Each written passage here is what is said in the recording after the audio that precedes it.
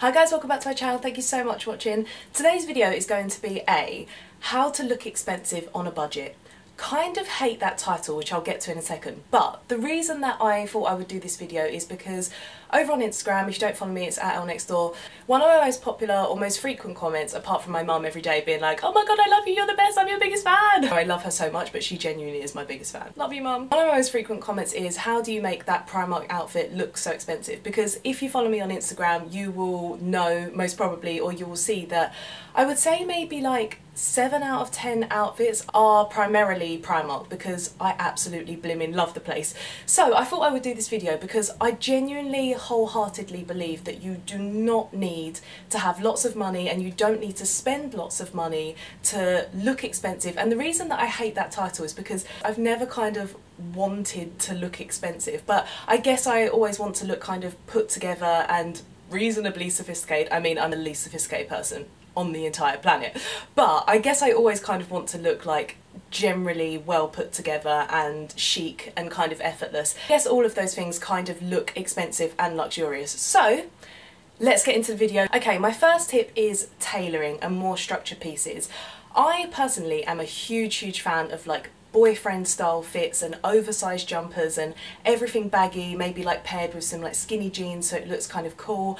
But whenever I need to look a bit more luxurious and I'm or I'm going to like an important meeting where I want to feel my best. I will always bring out my blazers or my nice shirts or just my structured pieces. I love a pair of like cigarette pants as well that fit really nicely. I just think that it immediately makes you look a little bit smarter and a little bit more sophisticated and it doesn't have to be expensive whatsoever. My favourite blazer is from Dorothy Perkins and I think that it was $29.99 and it's just a black blazer.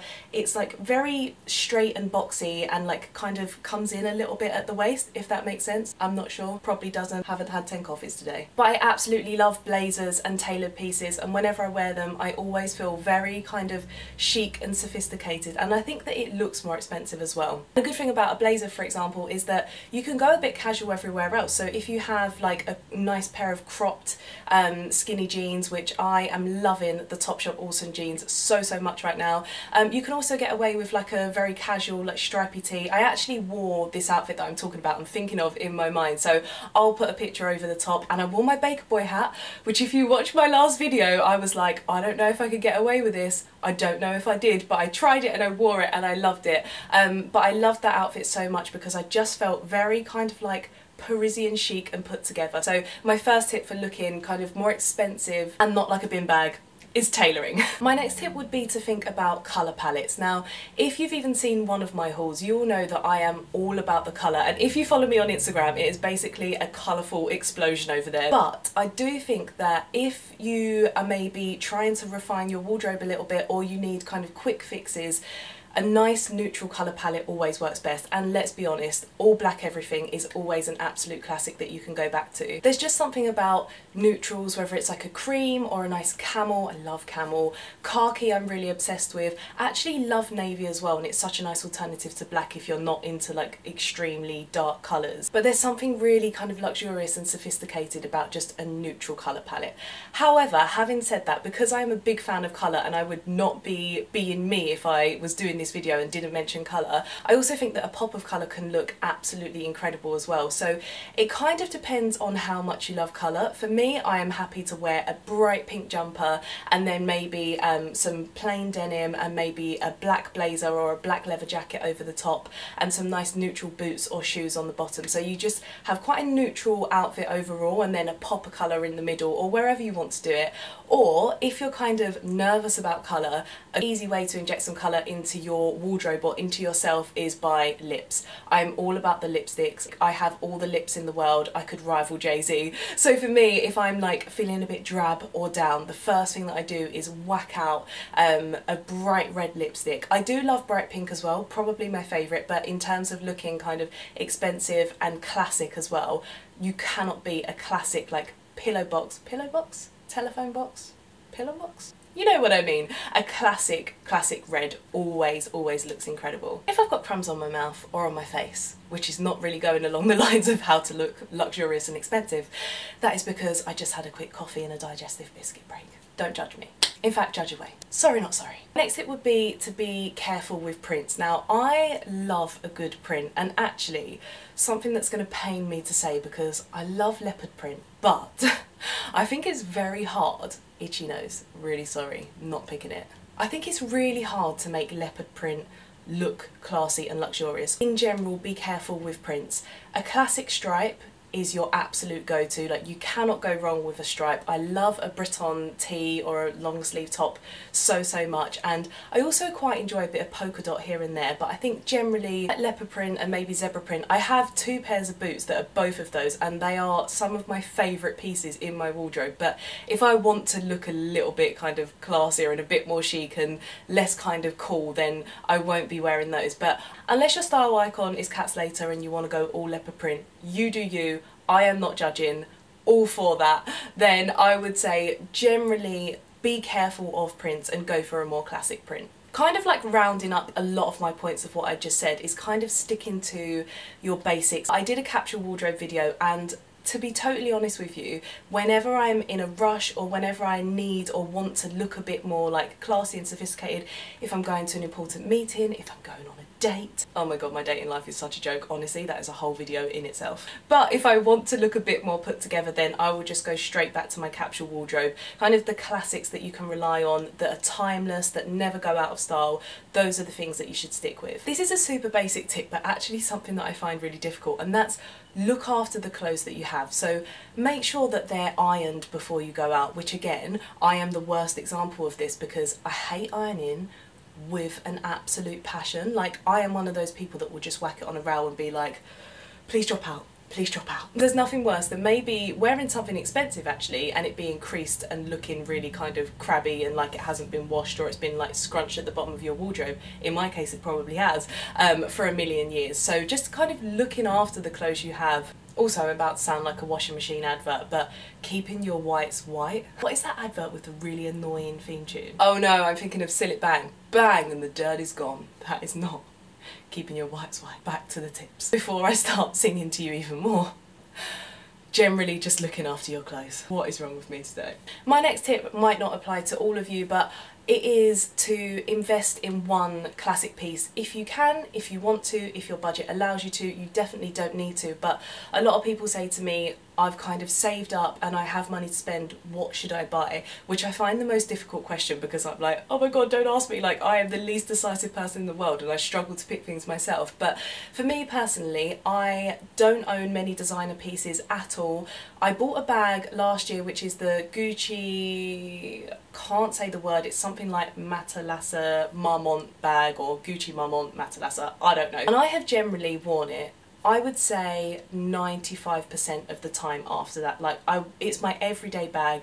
I wear it on a daily basis. Everyone was like, you've bought this incredibly expensive bag and you're wearing it like just to go to shops and do everything. And I was like, yes, if I'm going to spend that much money on a bag, I'm going to wear it every day for the rest of my life. But I love that bag so much and I got the black um, and the, it's the gold hardware and it is so classic and it goes with basically everything in my wardrobe. So I think if you have the money to spend, investing in something very classic. So for me it would personally be a handbag. I think designer shoes look incredible but I just think there are so many places on the high street as well. Like a pair of Valentino rock studs have always been in the back of my mind, but then I go into Primark and find a pair that are so comfortable and look incredible, and I'm like, bye Felicia to the Valentino rock studs and hello seven pound Primark heels that look incredible. Um, but with a handbag, I think you can just kind of generally tell that it looks a little bit more expensive. Also if your budget doesn't allow for a handbag, something entry level like maybe a pair of sunglasses or maybe a pair of nice flats